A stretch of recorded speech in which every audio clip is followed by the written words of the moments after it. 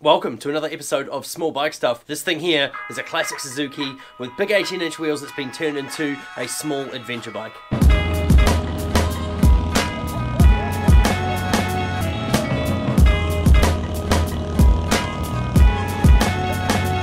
Alright, so this bike here is awesome. It's built by a good friend of mine, Thomas. You all know Thomas, you've seen him in my other videos. Uh, it's got 18 inch wheels front and rear. It's repowered by a Chinese 4-stroke 125cc engine. Uh, it's got about 10 litres tank capacity, which is awesome, so you can go quite a long distance. Chinese copy of a Mikuni carburetor on there. Uh, the air intake is inside the frame. The exhaust is a high exhaust as well, which comes back here with a little tip that makes it direct away from the rear shock. It's got Vans waffle grips, which I think are pretty cool. Uh, it hasn't actually been cleaned since the last time it was used, which was on this trip right here.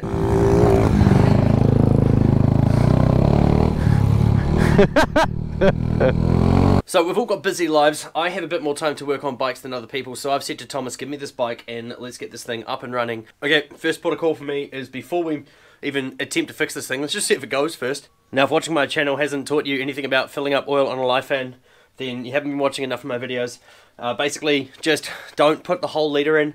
Put maybe 700 mils in, start the thing, get it going, turn it off after 30 seconds, see what the oil level's at, and uh, do not measure your oil level when you screw this in. Just just place it there, and then pull it out, and that's your accurate oil level. Okay, let's fill this thing up.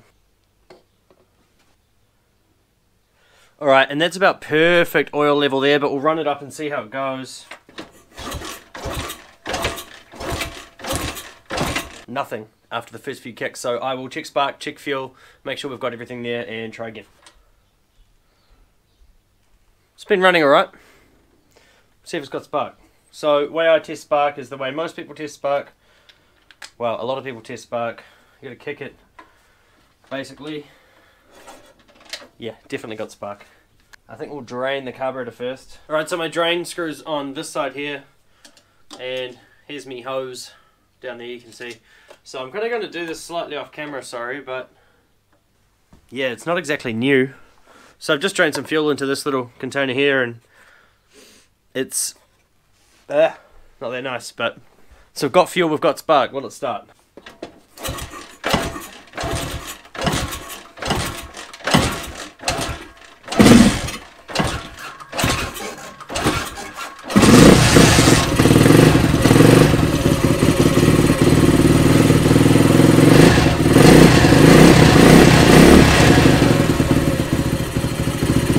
So it runs, but it only with throttle.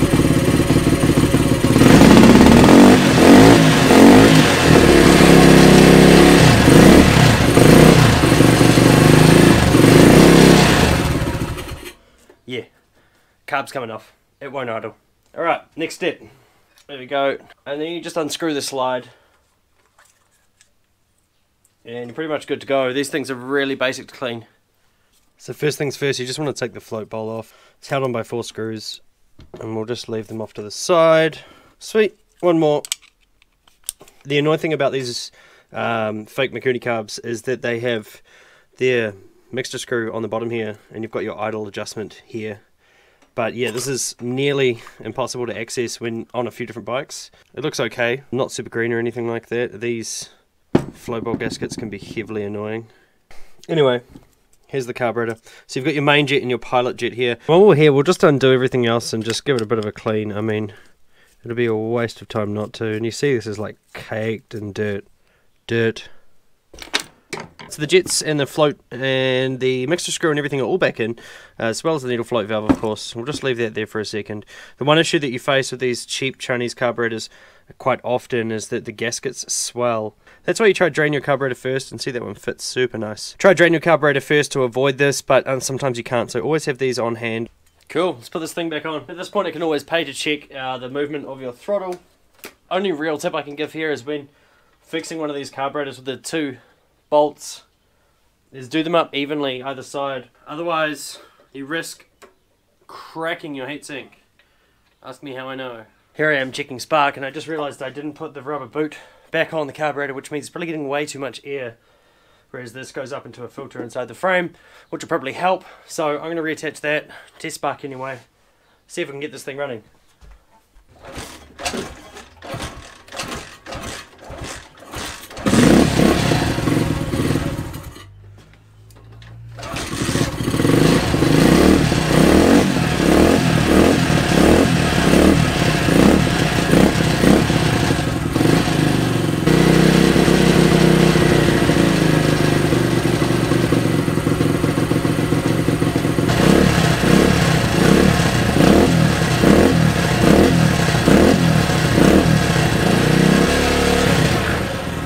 Well, it goes, but it needs quite a bit of work.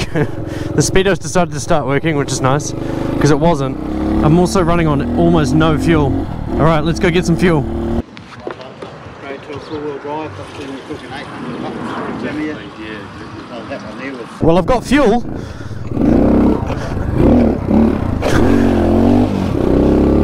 And I've also got a farm. G'day, mate. The uh, next gully over. It's got a pretty good um, hill climb strip. Sweet. Have you got? I'll go and get the little two-stroke, eh? Yeah, I'll come back and I'll, I think I forgot my gloves and I'll come grab them and yeah.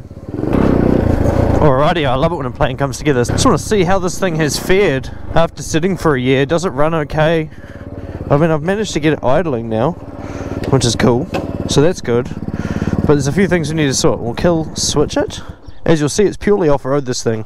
There's no ignition, it's just the kill switch. And uh, yeah, so if you see this thing out in public, go give it a kick and have a test ride.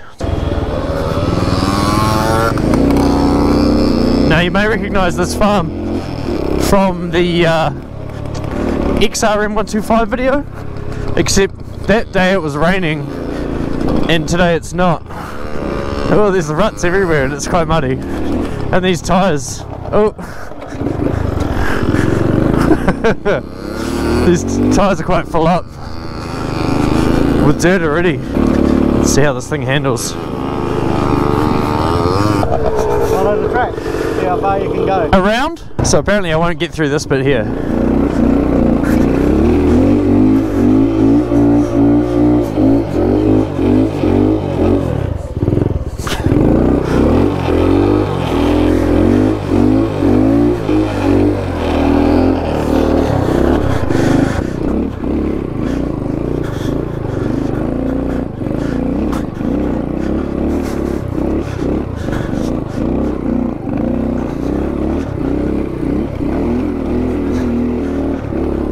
So while this thing doesn't have great top speed, it does do pretty well at uh, going up hills in first gear. That's my fabled spot where I fell off on the XRM. Close.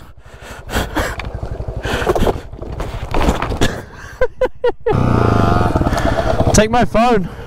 I'm gonna try go up the bit where I fell off last time. Hey, it's some cows. Hello. I better tell them about the bike. So this bike is a Suzuki A50, but it's got a Chinese four-stroke engine swap in there, and it's a bit different. How's it going? Nice to meet you.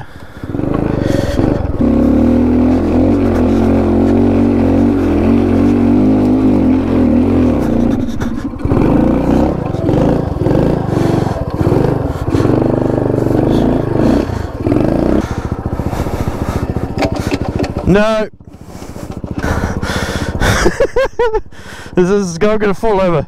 I am going to fall over.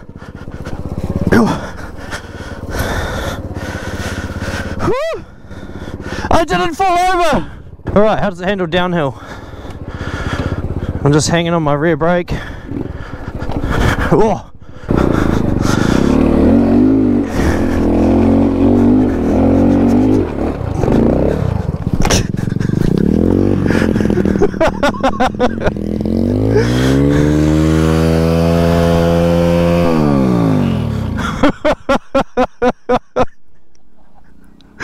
There we go.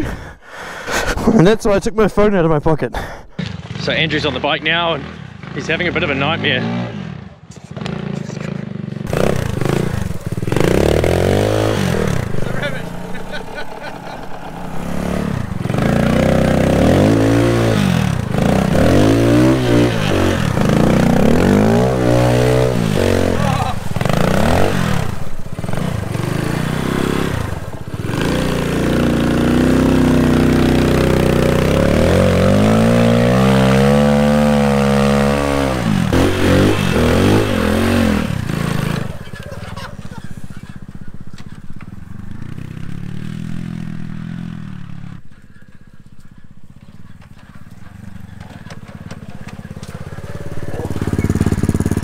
Gear down below. It already only does 80k an hour on the open road. Yeah, So if anyone's asking how fast can a Lifan go, this. this is a perfect example. You get one or the other. Yeah, you either get really nice open road speed on the flat with backwind only. Yeah. Otherwise, it's uh, You're looking for like another first. yeah. Where's first? Oh, it's neutral. So Lifans do have their limitations, but that's all right. You can't really slip the clutch that well on a semi-auto as well. So what we've discovered is that it goes, and it goes pretty well, but going up hills, the uh, gearing leaves a lot to be desired, and also the probably the main issue is that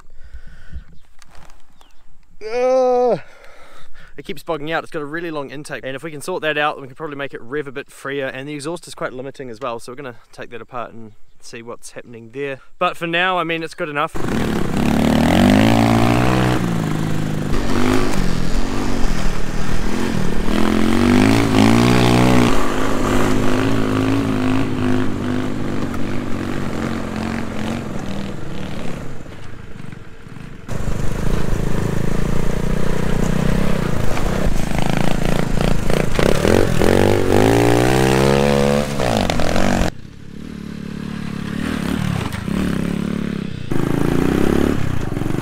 Well, that's about it for this episode, really. It's been a pretty good time riding this Suzuki A50. ah.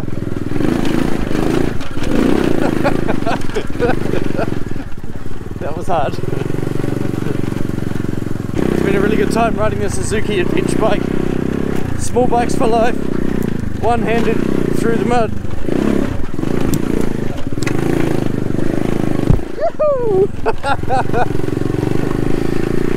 ah, semi-automatic for the win. I can film more. You'll see more of this bike later in the year. It's not much to make a small bike work. Just a little bit of effort and a little bit of time. See you next time on Small Bike Stuff.